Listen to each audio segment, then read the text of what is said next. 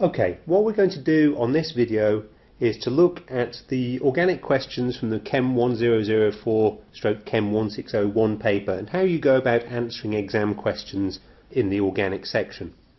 To illustrate this I've taken a couple of questions from recent papers and we'll start with question 5. This comes from the 2011 paper. It's fairly typical of the sort of question that you'll get asked. So let's just have a look at the question, part A1. Assign the alkene geometry in molecule A as E or Z, explaining your reasoning fully. And, and these are some key words. Very often with these questions I see people getting the right answer and it looks like they know what the reasons are, but unless you actually tell me precisely what your reasoning is, I can't give you all the marks. So make sure that you read the question and give what it asks for. So how do we go about answering a question like this? Well, as I say, we're explaining our reasoning fully. So we're going to assign the alkene geometry, and the first thing we need to do is to assign priorities to the substituents at each end of the double bond. But you can't just say you're going to do that and do it. You have to explain how the priorities are assigned. And the priorities are assigned according to the atomic number of the atoms attached directly to the double bond. So here's the structure. We don't need to draw it out in full. At the left hand end, our priority is 1 and 2, and we can just emphasize that we know what we're doing. Carbon, higher priority than hydrogen. At the right hand end, chlorine has a higher atomic number than carbon. Okay, so that's the prioritization done. And then finally we need to assign a letter E or Z and explain how we do that assignment.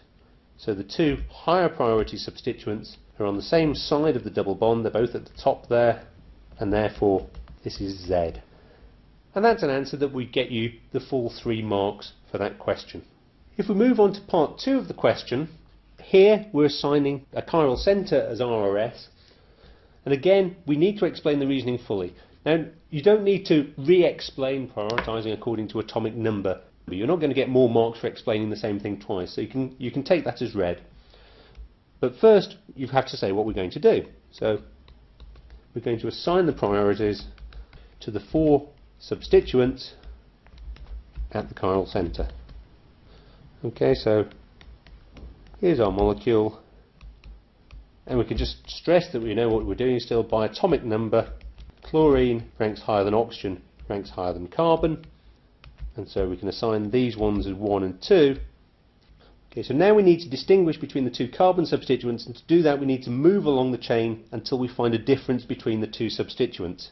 And again, you need to write that down so that I know that you know it. Okay, so we're going to move along the chain until we find a difference. So here we can become a bit schematic in how we do this. There are the two carbons that are attached to the chiral centre. They each have two hydrogens and a carbon attached, so we still can't tell at this point.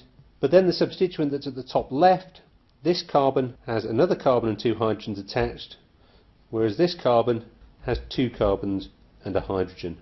And so our CH2, CH, CH3, 2, the substituent at the bottom, is going to be substituent number 3, and the substituent at the top left, CH2, CH2R, is going to be the lowest priority, that's going to be number 4. So we can write those on our diagram, that's 3, and that's 4. Now the next task is to rotate the molecule so that substituent number 4 is pointing away from us, and again Make sure that you write down that that's what you're doing. And at this stage I'm perfectly happy for you to simplify the structure so we can even just draw it like this if you want. So there's the four substituents. We want number four to be at the back. If you can't remember how to do this then look back to your lecture notes and we'll see.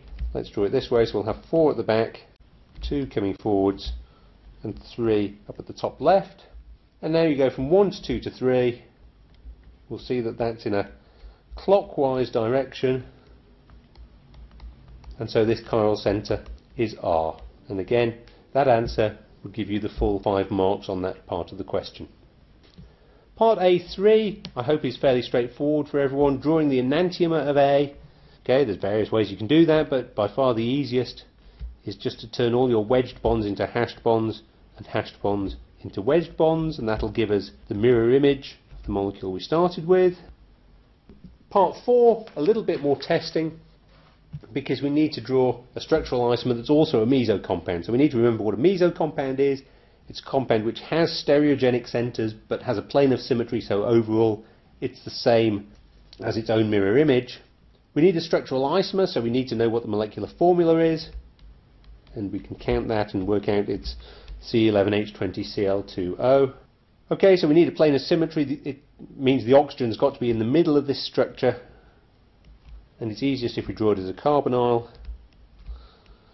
What's that? Five carbon atoms, six, seven, eight, nine, ten, eleven. So we're still symmetrical, and we'll put the two chlorines in. And so there's an example of a structural isomer of A, which is a meso compound. There are many others you could have drawn. Of course, it's always worth checking that this molecular formula is correct, that it, it is an isomer of compound A. The other thing just to say here as a general rule in terms of answering exam questions, always write something down.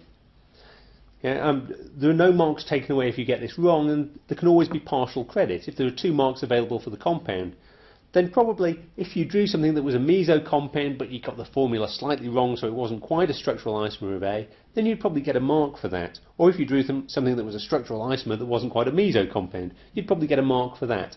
There's certainly nothing to be lost by writing something down for every question. Okay, we'll move on to part B now, and this is a, a, question about drawing mechanisms. So using the curly arrow notation, depict the mechanism of each of the following one-step reactions. Okay, the first one I'm just going to draw it on the question there. So we're going to form a bond between this carbon atom here and this carbon atom here.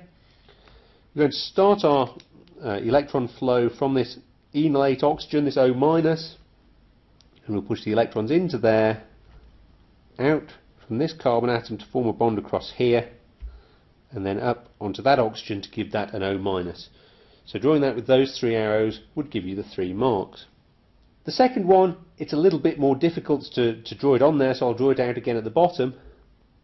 But again, if you're working out how to answer this, I think the first thing to do is work out which atoms in the product correspond to which ones in the starting material. And it shouldn't take you too long to realise that that structure there is going to correspond to that part of the product, and therefore this alkyne must be that bit there. And so if we draw the two reagents out and we're forming the bonds, this bond and this bond. If we draw the atoms where we're forming bonds close to each other, it makes the, the mechanism much easier to see. So here's the alkyne, and we're forming a bond from the O minus, lone pair there, to the carbon. We're making this triple bond into a double bond, forming a CC bond, pushing electrons onto that nitrogen. Okay, so that's the mechanism for the second part.